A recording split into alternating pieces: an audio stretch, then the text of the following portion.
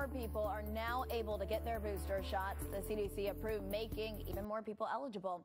Our Jalen Souchek is joining us live from the Shelby County Health Department. That's one of the places where people can get their boosters this morning. Good morning, Jalen.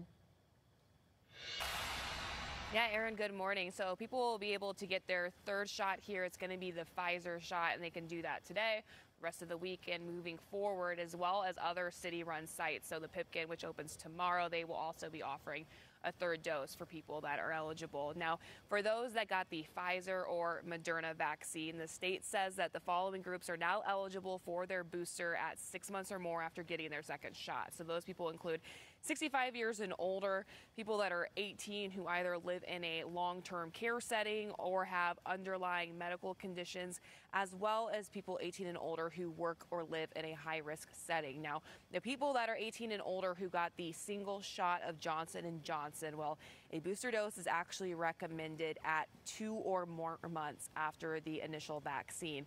Now, experts have said over time, after getting the initial shot, vaccines are found to be less effective. So, in one limited study, those who got the Johnson & Johnson shot saw their antibodies increase fourfold with a J&J booster.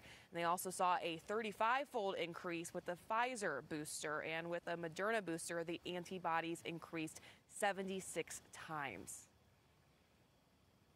The boosters are really helpful. While the vaccines are working well in preventing severe infections, we are seeing breakthroughs, and we see very clear evidence now that boosters, especially for high risk individuals, make an enormous difference in reducing those infections.